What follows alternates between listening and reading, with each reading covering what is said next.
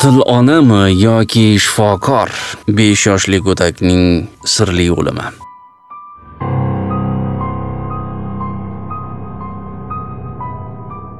Jinoyat qurboni yosh bola bo'lsa buni na tushuntirib bo'ladi va na qabul qilib.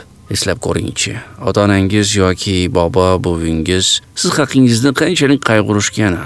Agar siz kasal bo'lib qolsangiz tunlari uxlamay kravatingiz oldida o'tkazishganini eslay olasizmi? Shunga aytishsa kerak ota ona muhabbati hech qanday shartlarga asoslanmagan va cheksiz bo'ladi deb leysi o'g'li tug'ilishi bilan sog'lig'ida muammo borligini anglaydi. U 5 yil davomida farzandini parvarish qiladi. Toki qandaydir sirli va tushuntirib bo'lmas kasallik uni hayotdan olib ketmaguncha. Xo'sh garnetning o'limi shifokorlik xatosimi yoki haqiqiy yovuzlik? Kim kichkina murg'ak go'dakka nisbatan bunday jirkanch ishni qilishi mumkin.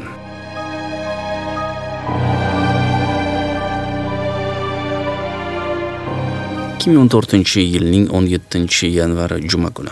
Nyu york shtati o'sha kuni 5 yoshli bola garnet spirs qattiq og'riqni his qiladi. Shu bois u nyu york shtati nayak shahridagi shifoxonaga olib boriladi o'sha kuni tunda garnetda kuchli ich ketish holati kuzatiladi shifokorlar bolaga kerakli yordamni ko'rsatishadi Tez orada uning holati yaxshilanib o'ziga keladi. Biroq bolani gospitalda shifokorlar nazoratida qoldirishadi.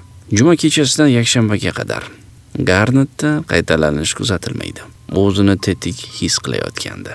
Yakshanba kuni esa shifokorlar bolaning yaqinlariga uni olib ketishlari mumkinligini ma'lum qiladilar. Ularning fikricha xavf endi ortda qolgandi. Ammo Gardentning onasi bunga ishonchi komil emasdi. shifoxonadan chiqarilayotgan paytda leysi spirs shifokor yoniga kelib yo'q siz bolamni shu yerda qoldirishingiz kerak negadir ko'nglim g'ash bo'lyapti deydi shifokorlar esa buni to'g'ri tushunishadi. Oradan atigi bir soat o'tib kichkina garnetda yana og'riqlar paydo bo'ladi. Oyoqlari qaltirab tanasi titray boshlaydi. U og'riqdan o'zi istamagan holda boshini ushlaydi. Tushuntirib bo'lmas holatda garnet organizmida natriy tuzi darajasi 138 dan 182 gacha oshib ketgani aniqlanadi.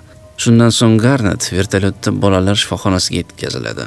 Mahalliy shifokorlar og'ir bemor olib kelingani haqida ogohlantiriladi. Kichkina spirsdagi natriy ko'rsatkichini ko'rib, navbatchi shifokor balki siz adashgandirsiz, bunday bo'lishi mumkin emas, deydi. Shifoxona mutaxassislari natriy darajasini pasaytirishga erishadilar.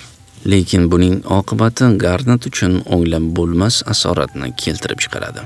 Ikki kun o'tib bolaning ahvoli yanada yomonlashadi. 22-yanvarda esa shifokorlar uning miyasi o'limini qayd etishadi. Bir kun o'tib 2014-yilning 23-yanvar kuni esa Garnetni unga hayot bag'ishlab turgan tizimdan ham uzishadi va u bu dunyoni butunlay tark etadi.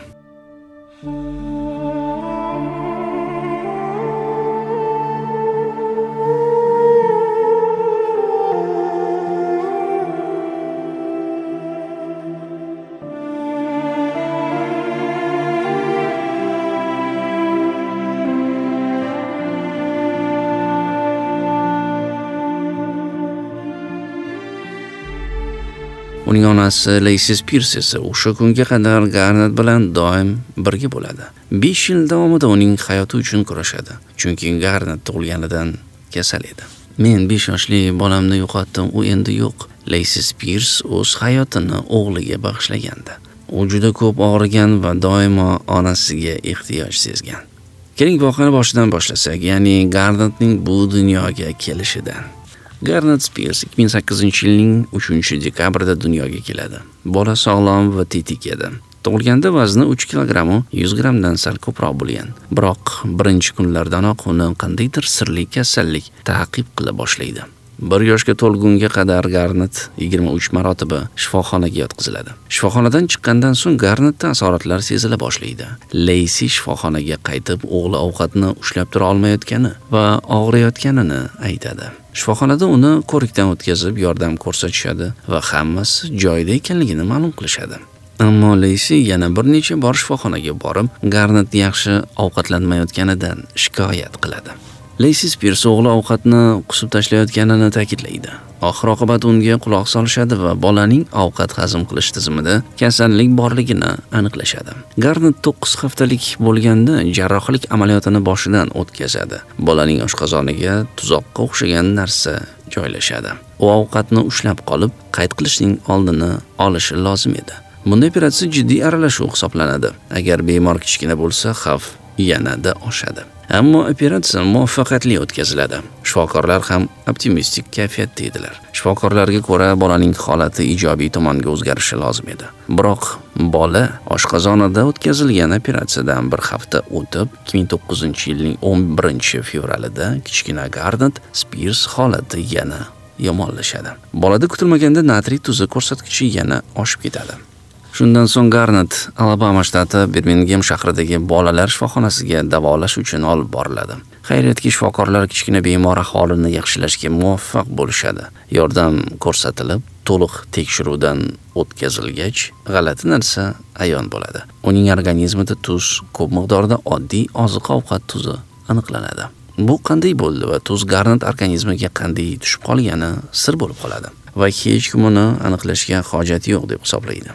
Bolaning ahvoli sal yaxshilanganda uyiga qaytishga ruxsat berishadi. To'qqiz oyga kelib garnet yana shifoxonaga tushib qoladi va ikkinchi operatsiya o'tkaziladi. Bu safar unga oshqozon ichak zondi o'rnatiladi.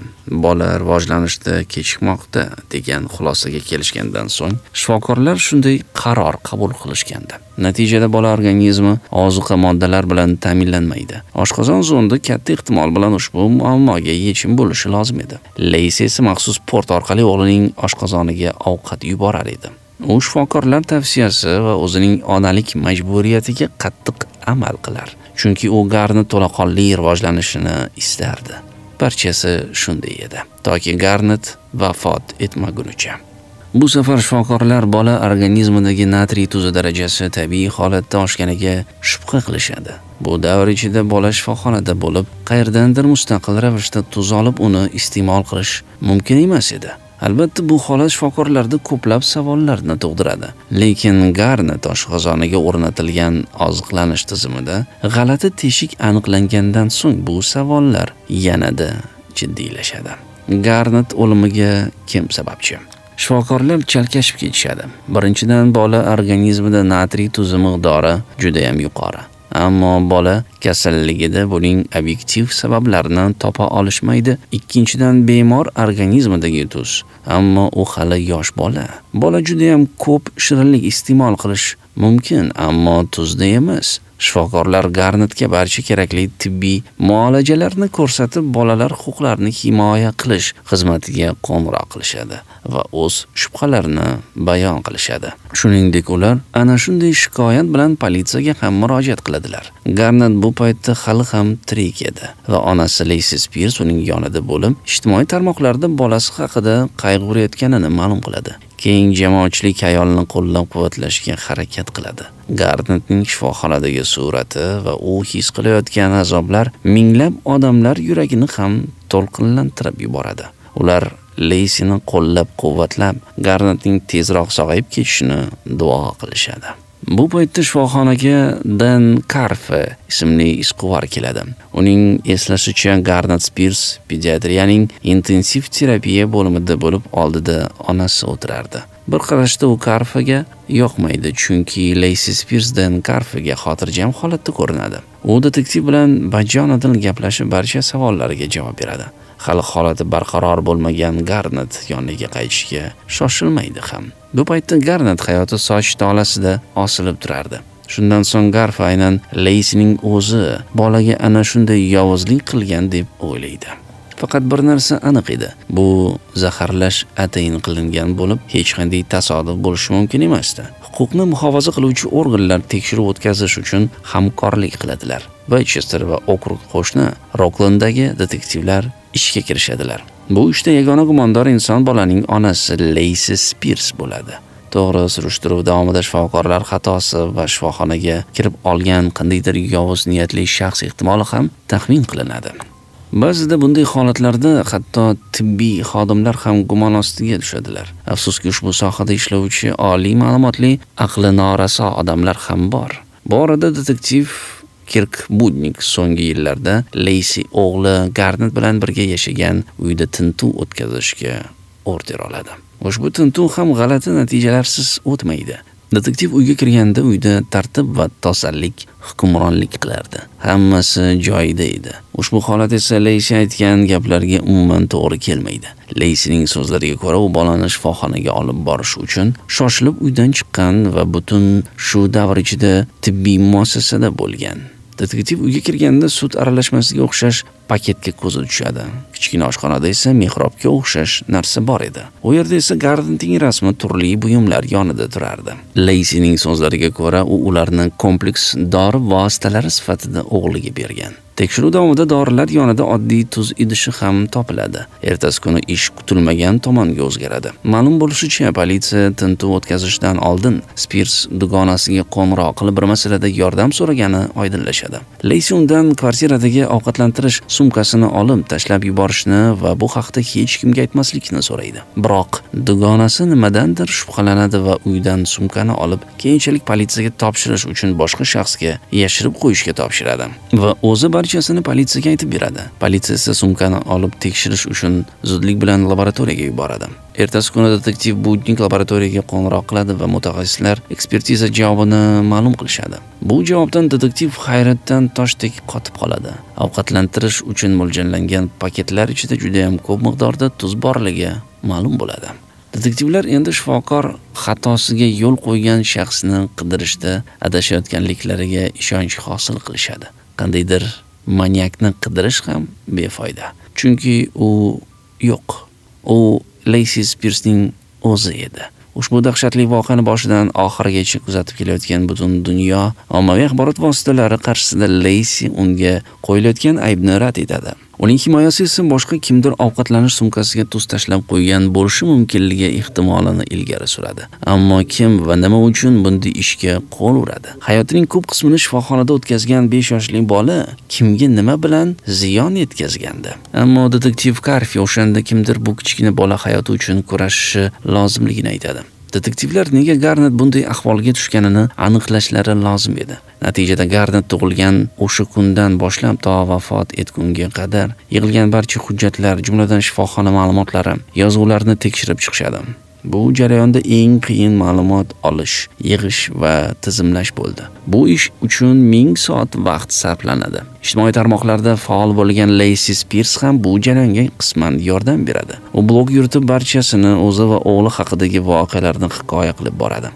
Garnet Spirsga taalluqli ushbu xabarlar va tibbiy yozuvlar surishtiruv tergov ishlarini turli shtatlarga yetaklaydi. Detektivlar va ularning yordamchilari barcha ma'lumotlarni yig'ish uchun deyarli barcha shifoxonalarga kirib chiqishga majbur bo'ladilar. Chunki maxfiylik qoidasiga ko'ra qonun bemorlarning ma'lumotlarini boshqa tibbiy muassasalardagi yoki shtatlardagi shifokorlarga taqdim etishni taqiqlardi. Aynan shu jarayon ishni ancha cho'zilishga sababchi bo'ladi. Bundan tashqari Leysis Pirs nafaqat shifoxonalar, balki yashash joylarini ham muntazam o'zgartirib turgan. Turgan gapki, detektivlar Leysining taniydigan odamlarni topib, ulardan ko'rsatma olishlari kerak edi. Alabama shtatida masalan detektivlar Garnetni tekshirgan va uni oziqlantirgan diyetolog bilan uchrashadilar. U Garnet yaxshi ovqatlangan va hattoki bitta butun idishdagi suvni ichib tugatganini aytadi. Ammo Leysi buni aksini ta'kidlaydi. Uning fikricha Leysi o'g'li ovqatlantirganda u barchasini qayd qilib tashlagan. Surishtiruvlar davomida Leysini uchratgan odamlar ayolning o'zini g'alati tutayotganligini ko'rib bolalarni himoya qilish organlariga anonim holatda murojaat qilishgani ham aniqlanadi. Garnet onasi bilan Meksika restorani McDonald'sda bo'lib kartoshka, burger va o'tkir souslar iste'mol qilgan. Ushbu ma'lumotlar muammoni yechishga to'sqinlik qiladi. Ammo bunday holatlarda Leysi o'g'li taomni yuta olmasligini, shunchaki chaynashni aytadi. Onasining aytishicha, u Garnetni zond orqali oziqlantirgan. Bu orada Garnet otasi haqida ham ma'lumotlar oshkor bo'ladi. 5 yil oldin homilador bo'lgan Leysi hammaga uning otasi politsiyachi ekani va u dahshatli avtohalokatda halok bo'lganini aytadi. Ammo keyin u tirik va sog' ekanligi oydinlashadi. Bundan tashqari u o'sha paytda aldangan bo'lib chiqadi. Leysi erkakni Garnet uning o'g'li emasligiga ishontirgandi. Keyinroq esa surishtiruvlar davomida turli shifoxonalardan olingan hujjatlar ko'rib chiqilgach detektivlar garnet boshiga ensefalograf ulanganini aniqlashadi. U bemor kravati yoniga kamera bilan birga o'rnatilgandi. Kamera boladagi o'zgarishlarni kuzatish uchun qo'yilgandi. Ushbu kamera yozuvlarida kravatda yotgan bola aniq ko'rinib turibdi. Garnet o'zini sho'x va xursand tutmoqda. Tarelkadan shirinliklar iste'mol qilmoqda. Undan keyin shifokorlar kirib onasi bilan suhbatlashishadi va chiqib ketishadi o'sha paytda garnet o'zini yaxshi his qilayotgani uchun shifokorlar uni uyiga jo'natmoqchi bo'lishadi. Qaysidir paytda bola va uning onasi palatada bo'lib tez orada leysi bilan vannaga kiradi. Qaytib chiqqanda esa uning qo'lida bolani oziqlantirishga mo'ljallangan tizim trubkasiga o'xshagan narsani ko'rish mumkin. Portda paydo bo'lgan teshikni hisobga olganda detektivlar leysi vannada bo'lgan paytda tuzni qandaydir eritma bilan garnet oshqozoniga yuborgan deb taxminni ilgari surishadi. Shundan so'ng ushbu hodisa sodir bo'ladi. Leysi vannadan chiqib bolani kravatga joylaydi. Oradan 20 daqiqa o'tib bola qusadi va titray boshlaydi. Go'yo uning tanasi kravat ustida sakrardi. Leysi spirs o'g'li uchun aza tutayotgan ona va u aybdor emas. 2015 yilning 3 fevral kuni garnet vafotidan bir yil o'tib leysi ustidan sud ishi boshlanadi. Detektivlar nafaqat 5 yoshli garnet spirsning butun hayotini o'rganishadi balki uning onasi hayotini ham o'rganib chiqishadi. Natijada ko'p narsa oydinlashadi. Leysi spirs bolaligida onasi bilan yaxshi munosabatda bo'lmagan. Agar qizning so'zlari yoki qandaydir harakatlar onasiga yoqmasa uni o'zgalar oldida tanbeh berib turtib qo'yishidan qaytmagan. Shuningdek u qo'g'irchoqlarga bog'lanib qolgandi. Chunki u ularni haqiqiy bolalar deb hisoblagan. Bir kuni u dugonasi mela bilan o'ynayotganda O'spirsning qo'g'irchoqiga nimadir qiladi. Shunda leysi bundan g'azablanib dugonasini bo'g'moqchi bo'ladi. 2000 yillar boshida leysi alabama shtatidagi maktablardan birida o'rta maktabda o'qiy boshlaydi. Uni u yerda yaxshi ko'rishgan va hurmat qilishadi. Leysi maktab hayotida faol bo'lib sportning deyarli barcha turlarida muvaffaqiyatli qatnashib keladi. Bundan tashqari spirsda munozaralarda ishtirok etish uchun yaxshigina qobiliyati ham bo'lgan. Biroq uning maktabdagi dugonasi uning xarakteridagi og'ir xususiyatni eslab qoladi. Ma'lum bo'lishicha leysi tartibsizlikka chiday olmagan. Uning buyumlari doim o'z joyida turgan. Xuddi shifoxonadagi shifokor asbob anjomlari kabi. Testlar bo'lsa a'lo baholar bilan javob bergan. Munozaralarda ham eng faol hisoblangan. Spirs nafaqat debatlar balki amerikaning bo'lg'usi biznes yetakchilari deb nomlangan nufuzli dasturi uchun ham tanlab olingandi. Gimnaziyani tugatib ta'limni davom ettirishga qobiliyati yetarli bo'lishiga qaramay leysi bolalar bog'chasida ish boshlaydi. Asosiy ishidan tashqari u do'stlari bolalarga ham qarab turadi. Spirs bolalar bilan bo'lganda odamlardan qanaqangi chiroyli bola ekan degan so'zlarni eshitadi. Keyinchalik ushbu tasodifiy odamlar bilan suhbatlarda leysi o'zini enaga sifatida emas balki bolalarning onasi sifatida tanishtiradi. Albatta vaqt o'tib bu haqda ularning haqiqiy onalari ham xabar topishadi va bu ularga yoqmaydi. Shundan so'ng ular enaga xizmatidan voz kechishadi. Shunda leysi ham ona bo'lishga qaror qiladi. Garnet ajoyib bola edi. U ko'p tabassum qilib doim kulib turardi. Hayotida bir marotaba bo'lsa ham garnetni uchratgan odam uni ana shunday xushchaqchaq bola sifatida eslab qolardi. U xuddi quyosh nuriga o'xshardi. Leysi maktabda barchaning e'tiboriga tushganda bu unga yoqqan. Keyin esa u o'zgalar farzandiga enigalik qilib o'zini ona roli sifatida sinab ko'radi. Bu ham unga yoqadi. Keyinroq Leysi homilador bo'lib, ijtimoiy tarmoqlarda uning otasi fojiali tarzda vafot etganini yozganda ham foydalanuvchilar unga qat'iyatli yolg'iz ona sifatida qarab hamdardlik bildirishadi. Leysi har bir qadamini ijtimoiy tarmoqlardagi o'quvchilarga yetkazib turadi. Garnet kasalligi esa u uchun qo'llab-quvvatlash manbai bo'lib, odamlarning hayratlanishi, hamdardlik bildirishi, eng asosiysi e'tibori muhim edi. Spirsning kasallik ro'yxati uzun va qo'rqinchli edi. Yuqori harorat sariq kasallik oshqozon buzilishi tinimsiz qayd qilish surunkali infeksiya. Bularning barchasi haqida leysi ijtimoiy tarmoqlarda yozib boradi. Ammo shifokorlar bemor haqidagi ma'lumotlarni ijtimoiy tarmoqlardan izlashmaydi. Barchasidan ko'ra eng yomoni ularni ota onalari nima desa shuni bilishlari mumkin edi xolos. Qayerdadir gumon qilishni boshlaganda leysi spirs tibbiy muassasa va shifokorni almashtirgan bo'lishi mumkin. Decaturda bo'lganda odamlarning e'tibori va qiziqishi orta boshlaydi. Shunda Leysi Garnetni olib Floridaga buvasini yoniga olib ketadi. 2 yil davomida u yerda yashagandan so'ng yana e'tiborga tusha boshlaydilar. Shundan so'ng Leysi Nyu-Yorkka ko'chib keladi. Bu yerda Garnetni barcha yaxshi ko'rib qoladi va uni ushbu shahar meri deb atay boshlaydilar. Atrofdagi iliq munosabatlarga qaramasdan Garnet ahvoli yomonlashib boradi. Keyingi 2 yil ichida Leysi muntazam ravishda ijtimoiy tarmoqlardagi sahifalarda ma'lumotlarni yangilab boradi. Ularda Leysi o'g'lining holati, uning sog'lig'idagi muammolarni gapirib, davolash muolajalari hamda Garnet iste'mol qilayotgan dori vositalari haqida yozib boradi. 2014-yilning 17-yanvariga qadar toki Garnet shifoxonaga tushib bu dunyoni butunlay tark etmaguncha kunlar xuddi shu tarzda davom etadi. Kasalligiga qaramasdan o'zini vaqtli his qilgan 5 yoshli Garnet o'limiga uning onasi sababchi bo'lgandi. Bemor o'g'li haqida qayg'urayotgan ona roli Leysiga kamlik qiladi. Endi u o'g'lini yo'qotgan ona sifatida hamdardlik istayotgandi. 2015-yilning 2-mart kuni sud hay'ati Leysiga nisbatan o'z qarorini chiqaradi. U aybdor deb topiladi va 20 yildan to umrbodlik qamoq jazosiga hukm qilinadi. Leysi uchun tayinlangan hukm maksimal jazodan ancha yengil edi. 25 yildan umrbodgacha bo'lishi lozim edi. Bunga ayol xulq-atvori modelini baholagan ekspertlarning xulosasi sabab bo'ladi. Ular Leysidagi psixopatik xususiyatlarini aniqlab, unda Münxhausen sindromi borligini tasdiqlashadi. Bunday holatda odam o'z yaqinlariga azob berish barobarida ularga hamdardlik ham qiladi. Ammo bunday odamlar jamiyatga o'zlarini oshkor qilmaydilar. Undaylar boshqalar azobidan hech qanday ta'sirlanishmaydi. Sud jarayonida Leysi o'z aybini tan olmaydi va bu bilan yana bir bor o'zining salbiy xususiyatini tasdiqlaydi. G'amxo'r qahramon ona roli o'z ortida uyat va qoniqmaslik hissini yashiradi.